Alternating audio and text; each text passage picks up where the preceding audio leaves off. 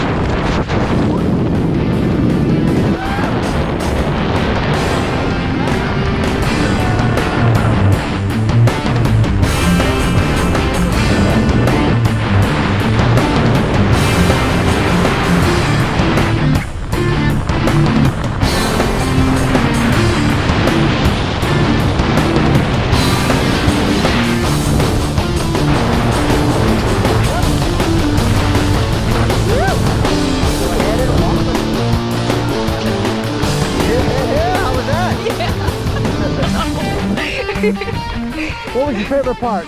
The spin of there. Well, hey, thanks for taking me skydiving. you. Nice job. Yeah.